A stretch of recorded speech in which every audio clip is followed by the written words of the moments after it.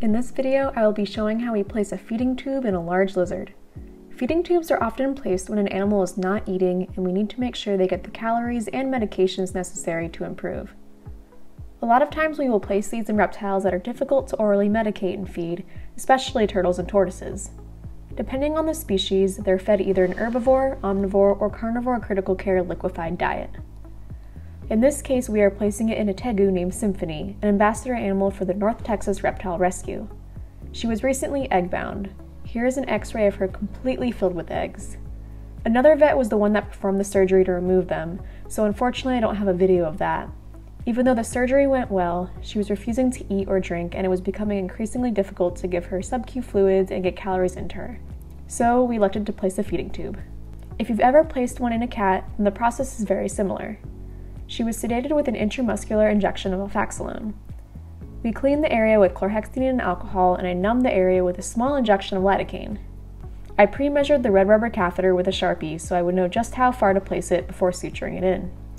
In cats, you're supposed to place it cranial to the lower esophageal sphincter so it does not cause irritation. However, I've been told this is less of an issue with reptiles as some vets will place it directly into the stomach. Once it's measured, I take a curved hemostat and pass it through the mouth and into the esophagus.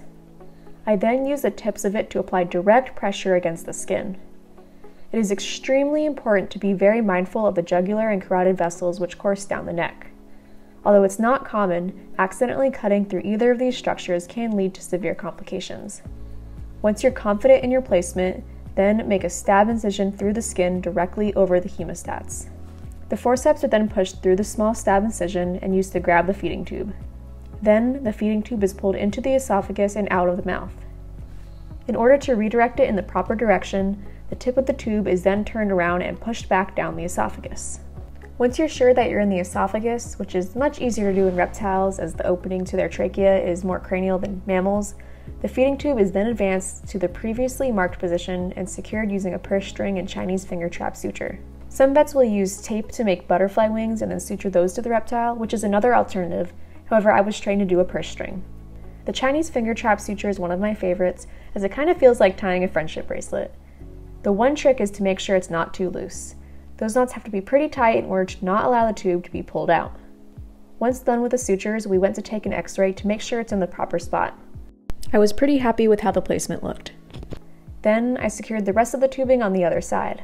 If this was a turtle or tortoise, we would just loop the tube around and tape it to the back of the shell, However, tegus are super agile and smart, so I wanted some extra assurance it wouldn't fall out. And there we have it, successful placement of a feeding tube. I'm happy to say that within just a few weeks of tube feeding, Symphony was feeling much better and eating on her own. Here she is back at the hospital for tube removal. It's not painful at all, so we don't have to sedate her for this. All we have to do is cut the sutures and pull the tube on out. The hole does not need to be sutured or closed manually as the stoma site closes up on its own. If desired, you can cover it with a bandage and use triple antibiotic. Just make sure you keep it clean when it's healing and you're good to go.